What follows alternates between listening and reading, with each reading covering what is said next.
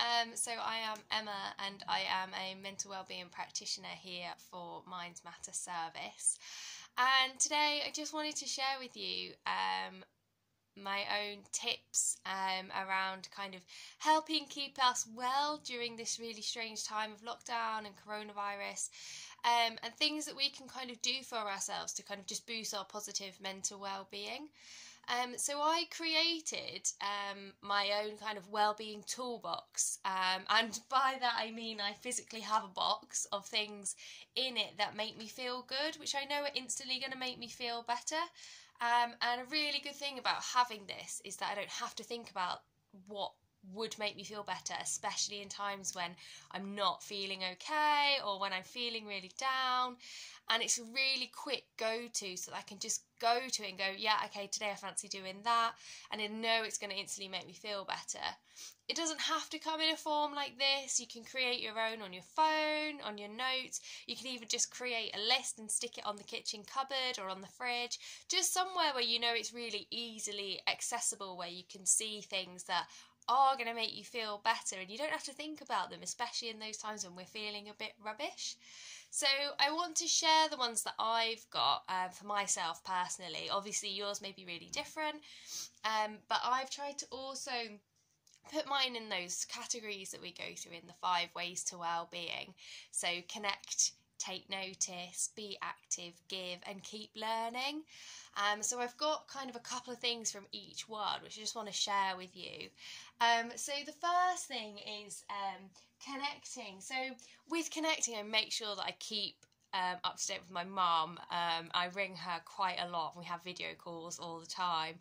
Um, and I keep up with my friends. and I do that kind of via video calls um, but also kind of meeting up on walks and things like that. So making sure that I connect with other people. Take notice of kind of how I am feeling, and I do this by noticing that if I'm feeling a little bit stressed or if I need some time out to kind of get away from my thoughts, um, I've bought myself some activities to get me distracted from that. But these activities are really enjoyable. So I've got a couple of like mindfulness kind of activities here. So I've got sort of like an anti-stress dot to dot, which is fantastic. So all you have to do is just find numbers. Um, I also try to make sure that I'm learning something new quite a lot of the time. So at the moment, I'm learning knitting. Um, I'm not sure how well it's going, but I got myself some knitting needles and I've got a nice little book as well, so where I can learn and teach myself how to knit, which is a challenge, um, but it is good fun at the same time.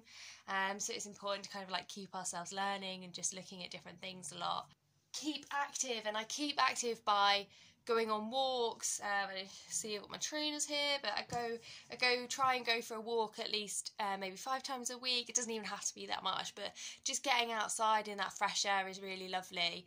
And especially at the weekend, maybe exploring like a different part. Um, so not always doing local walks, but um, going to the peaks or something like that. Um, I really love to go walking and just go and see different places. Uh, the last one is kind of give um, and kind of give to myself. So I make sure I do like quite a lot of self care activities, to be honest. Um, I've got loads of things which make me instantly feel better. So um, I love musicals. So I have a whole selection of musicals ready to go on DVD, so I can just grab them um, and just sit on the sofa and really enjoy the music. And I've got a playlist as well. So um, I often will go for a walk and listen to uh, musicals, or I'll even put musicals in the house really loud. Um, and I just have a bit of a sing and a bit of a dance really, which I absolutely love in my week is I have a pamper session um, and my pamper session looks like bath bombs and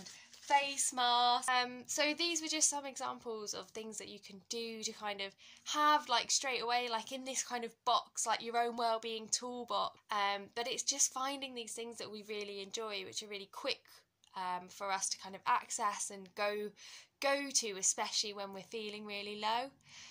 Um, and so I hope that is helpful for you. Um, and if it has been, then get yourself a little list or get yourself a new box and put things in there that make you feel good. Um, and that can be one way to help you towards your positive mental well-being journey.